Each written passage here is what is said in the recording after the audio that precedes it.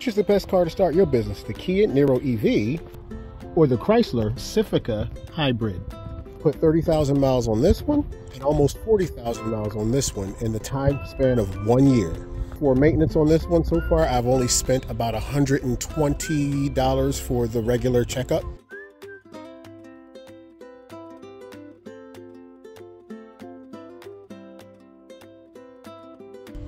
This one I've spent well over $700 on maintenance in a year so far, mostly from dealer oil changes.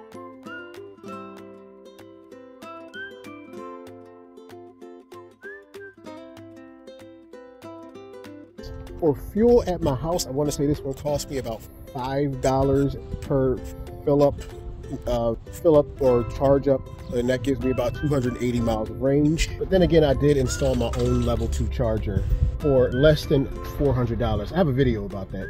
This one I spend about 60 to $80 a month on gas, plus about $5 a month on electricity because it's a hybrid. It has a 30 mile range, and I tend to only drive on the electric. But which one makes more money? Well, with the Kia Niro EV, the seats fold down so you can get up to five feet of storage and make sure you get yourself a tarp so you can avoid scuffs like this. This car is best used for Lyft and for maybe Roadie and maybe for Point Pickup, anything that's not too big.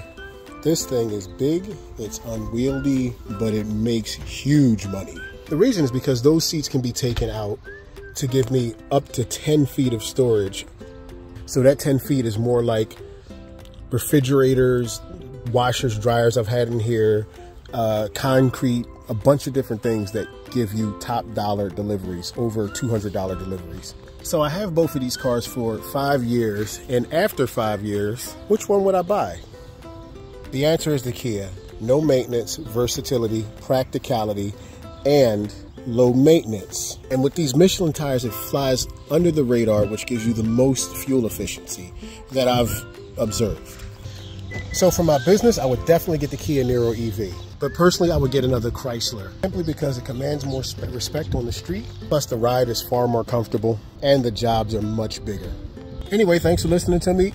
I've been Patrick Houston of Houston's Hustle Hobbies, and as always, live high, live mighty, live righteously. Take it easy.